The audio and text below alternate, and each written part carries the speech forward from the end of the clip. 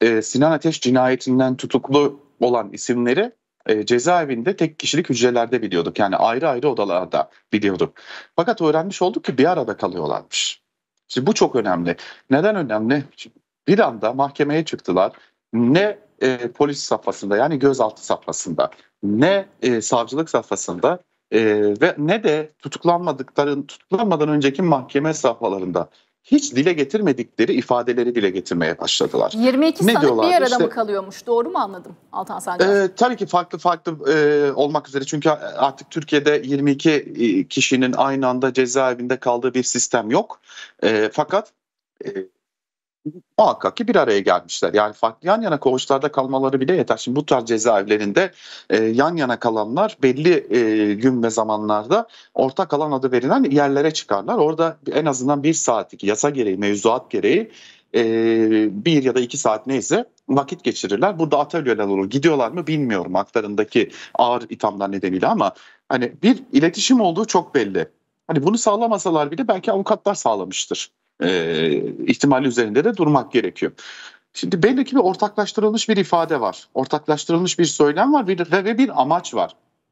Ve her birine neredeyse bir rol biçilmiş gibi davranıyorlar. İşte Doğukan Çep işte davayı magazinselleştirmek, sulandırmak üzere belli başlı hareketlerde bulunuyor. İşte davanın üzerine giden önemli isimlerden biri CHP'nin önceki genel başkanı Kemal Kılıçdaroğlu. Kemal Bey'e yönelik hakaretamiz ifadeler kullanıyor, alay edercesine ifadeler kullanıyor, gazetecileri tehdit ediyor, parmak sallıyorlar gibi bir takım e, durumlar ortaya çıkıyor. Şimdi buraya baktığımız zaman e, görünen şey şu, bu davada basit bir alacak verecek üzerine kurgulanmış bir ifade e, akışı var. Ama olayın bir diğer boyutuna yani aslında bugün yargılamanın konusu yapılmayan, iddianameye sokulmayan polisin delillendirdiği, polisin soruşturma dosyasına soktuğu ama yargının konusu haline gelemeyen bazı bölümler var. İşte örneğin Olcay Kılavuz. Olcay Kılavuz'un e, evinde Tolgan Demirbaş'ın yakalandığına dair Şimdi bir de eski bir polisin ifadesi var. Eski bir emniyetçinin ifadesi var. Evet e, Kerem ee, Gökay Öner, var. Ankara eski Asayiş Tabii. Şube Müdür Yardımcısı. E, davanın seyrini nasıl değiştirir? Sizce değiştirir mi? Ya değiştirmesi gerekir. Bakın e, bahsettiğimiz isim e, e, yani sıradan bir e, işte asayiş polisi de değil. Üst, üst bir yetkili ve diyor ki biz bunu da gözaltına aldık. Yani e, Olcay Kılavuz'un evinden gözaltına aldık ve o, olayı bütün ayrıntılarıyla anlatıyor. İşte aracın etrafını çevirdi polisler silah çektiler indi, inmesini istediler. Sonra e, iki kişi indi ev işte şuraya aitti şu kişiye aitti gibi bir bütün ayrıntılar var olayın içerisinde. Şimdi bu durumda Olcay Kılavuz'un artık konuda bir e, en basit tabiriyle söyleyecek olursam şüpheli haline geldiği çok açık. E, diğer iki isim, MHP'li diğer iki isim Semih Yalçın ve İzzet Ulvi Yönter için ise hiç değilse kendilerini savunmaları, kendilerine ilişkin tüm bu ithamlara karşı bir cevap vermeleri gerekiyor. Ne zaman verecekler Konuş... sizce e, cevap? E, şu ana kadar benim gördüğüm, bildiğim kadarıyla bir ses gelmedi o cepheden. Gelir mi? İrem Hanım, cevap verme ihtiyacı e, duyup duymadıklarına bağlı aslında bu konu. Neden diyecek olursanız. Şimdi gördüğümüz tablo şu. Bu davanın elin üzerinde bir siyaset gölgesi var. Siyasetin gölgesi tamamen oturmuş durumda. Bakın 26 Haziran Türkiye açısından bu dava açısından bir milattır.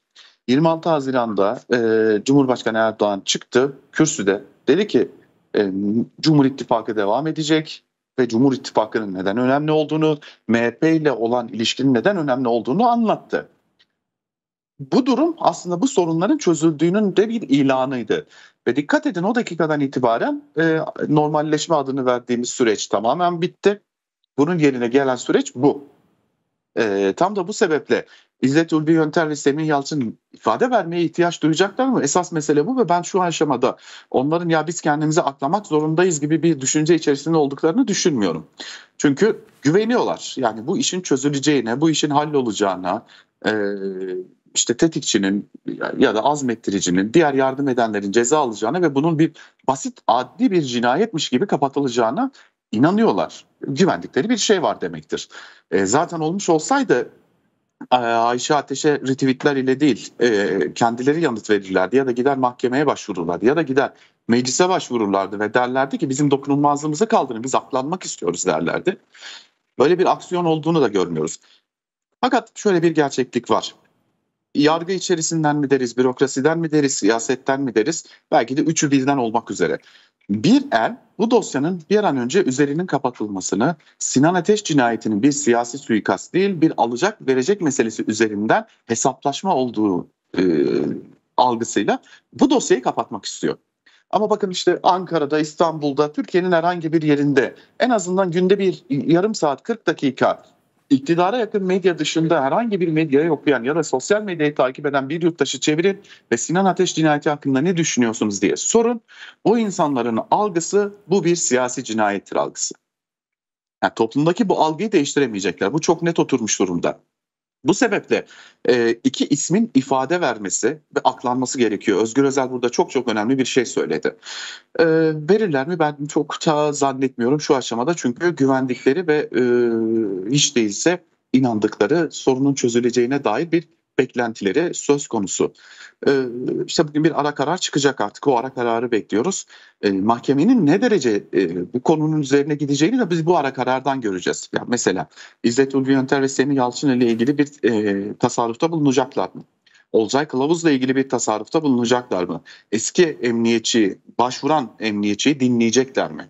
Ee, ya da ne bileyim Mustafa Kemal kimdir diye so, e, bir araştırma yapacaklar mı? Bir de Mustafa Kemal Tüm muamması var değil mi? E tabii yani Mustafa Kemal var mı yok mu bilmiyoruz. Bir başkasının adını gizlemek için mi kullanılıyor bilmiyoruz. E, soyadını bilmiyoruz. Hani bir müşteki avukatı e, Doğukan Çep'le Doğukan Çep'in mahkemedeki sorgusunda şu ifadeyi kullandı. Ya bir de Mustafa Kemal çıktı başımıza diye. Şimdi, hakikaten bu başımıza çıkan Mustafa Kemal kim? Mahkeme bunun üzerine gidecek mi? Tüm bu soruların cevapları tahliye gelecek mi? Yani tüm bu soruların cevapları mahkemenin bundan sonraki seyrini belirleyecek. Ee, Şimdi e, şöyle bugün e, ilk Nur Yavumli e, muhabir arkadaşımız e, yine Sincan'daydı. Günlerdir takip ediyor bu davayı takip eden bir arkadaşımız ve e, araya gittiğinde duruşma e, Sinan Ateş'in kardeşlerini konuk aldı, röportaj yaptı. Onlar da evet. dediler ki bizim kurumlarla bir sorunumuz yok, bizim sorunumuz kişilerle. Ve daha önce Ayşe Ateş'in paylaştığı bir resmi açıklama vardı. E, o resmi açıklamada da e, bir derinlik vurgusu vardı. Daha e, derinde olduğuna dair. E, ne kadar derinde olduğuna dair hala bir ses yok. Gelir mi? Ne kadar derinde? Bu konu hakikaten çok önemli. Yani kimse Milliyetçi Hareket Partisi'ni kurumsal olarak ya da herhangi bir kimse ülke ocaklarının tamamını kurumsal olarak suçlamıyor zaten. Ne Ayşe Hanım suçluyor, ne siyasetçiler suçluyor, ne bir başkası suçluyor. Biz gazeteciler zaten yargı merci de değiliz. Fikirden ziyade yani bütün yorumlarımız, bütün evet. fikirlerimiz e, bu dosyayı oku, okumamıza dayanıyor. E, ama MHP içerisinden bir elin ya da birkaç elin, bir kliğin ya da e, bu süreçte dahili olduğuna dair ihtimaller giderek güçleniyor. Sö- e, söz konusu deliller bunu güçlendiriyor. Ülke ocaklarından bir grubun bu işin içerisinde olduğuna dair deliller bunu yeterince güçlendiriyor. Yani e, yoksa ülke ocakları genel başkanına tahsisli araç neden suikastçıyı ben tetikçi demeyi de tercih etmiyorum aslında. Hani neden suikastçıyı, o tetiği çekeni e, çakarlı araçla oradan oraya oradan oraya götürsün? Ya da Tolgan Demirbaş neden saklansın bir MHP'li milletvekilinin evinde? Aslında MHP'nin yapması gereken bu. E, tamam kardeşim içimizde çürük elma varsa ayıklansın diyerek kendisinin kurumsal olarak mahkemeye başvurması gerekir.